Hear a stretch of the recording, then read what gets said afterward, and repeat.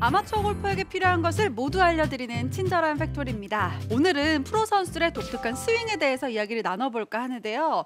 프로 선수라고 해서 모두 다 이상적이고 또 일률적인 스윙을 가진 건 아닙니다. 외모와 신체 조건이 다르듯 스윙도 선수마다 다 다르잖아요.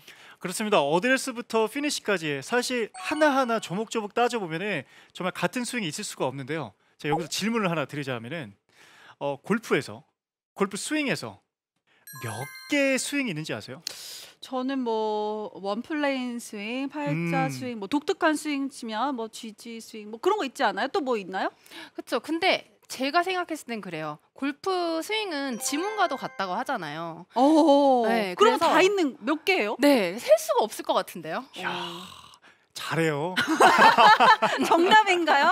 아 정답은 골프 인구수만큼 있다고 해요. 네. 야, 그럼 지문과도 같다란 말이 딱이네요. 그러니까 정말 개개인이 다 스윙이 다르다는 얘기죠. 야, 정말 어떻게 보면 뭐 프로 선수는 특징이 있는 스윙을 하는 것 같고 저 같은 경우에는 뭐 어제는 백스윙 잘하는 김민아가 왔다가 오늘은 피니시만 예쁜 김민아가 왔다가 이렇게 정말 올라갈 때 다르고 내려올 때 다른 그런 스윙을 또 하기도 하는데요. 어떻게 보면 그 독특한 스윙으로 딱 보자 마자 뒷모습만 봐도 어 누구다? 이렇게 알아볼 수 있는 그런 스윙을 가진 선수들도 있는 것 같아요. 네, 맞습니다. 우리나라 선수들 가운데 박인비 프로는요. 그렇죠. 네, 스윙 다 아시겠지만 백스윙이 가파르고 어깨 회전이 많지 않습니다. 하지만 다음 스윙은 아주 다이나믹하죠. 그리고 소렌스탐 선수 같은 경우에도 다들 아시죠? 치고 나서 바로 타겟 방향을 바라보잖아요. 어, 이게 처음에는 체중 이동이 잘 되지 않아서 했던 연습법이라고 하는데 이제는 스윙으로 굳어졌다고 하네요. 어, 이제 딱 그 얘기를 해야 될 것 같아요. 사실 독특한 스윙 할 때 여자분들보다는 남자 선수들 독특한 스윙을 가진 분들 많거든요. 어, 정말 많죠. 그 대표적으로 우리나라 선수만을 뽑자라고 하면은 최호성 프로. 아, 그렇죠. 음. 자, 낚시꾼 스윙의 원조. 최호성 프로가 독특한 스윙으로 인해서 결국에는 PGA 투어에 초청 선수로 음. 또 갔다 온 적도 페블 비치 갔었죠. 그렇죠. 페블 갔다 왔었고 그리고 또 우리나라에 지금 가장 큰 기대를 모으고 있는 임성재 선수 같은 경우에는 전체적인 스윙이 되게 좋아 보이는데 리듬으로 따지자면 백스윙이 좀 느린 게. 그 특징이라고 얘기할 수가 있어요. 네. 어 그런데 사실 최호성 프로의 스윙은 워낙 뭐 해외 토픽처럼 이슈가 되기도 했었는데 저렇게 해서 공이 맞을까 싶은데 어 그걸 굉장히 잘 치세요. 어, 맞아요.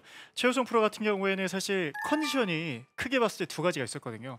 하나 같은 경우에는 어렸을 때 이제 손가락 절단이 되는 네, 그 한쪽 사고가- 마디가 없죠. 그렇죠. 음. 사고가 좀 있었고 그리고 또 골프를 또 늦게 시작했다는 컨디션.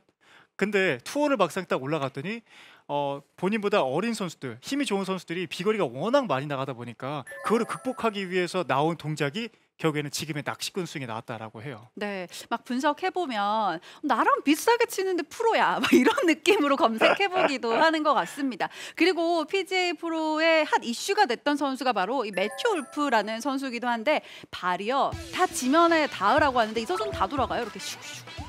그렇죠. 기억나죠? 어떻게 지금 제가 설명했는지 조금 보여주실 수 있으세요? 보여 네, 보여달라고요? 매튜 울프 선수. 매튜 울프가요. 있잖아요. 네. 어드레스부터 약간 독특한데요. 어, 약간 closed 스탠스에 상체는 약간 열려 있어요. 이 상태에서 waggle을 먼저 한번 하고요. 제 기억 기억을 해보면요. waggle을 한번 하고 한 번 돌리죠. 그러니까 한 번 돌리고 hand first 들어갔다가 어, 되게 부담스럽겠다. 이렇게 올라가고요. 샬로잉이 엄청 되면서 점프를 뛰어요. 그러면 한번 해보면은요. 잘 보이시죠 뒤에서? 네.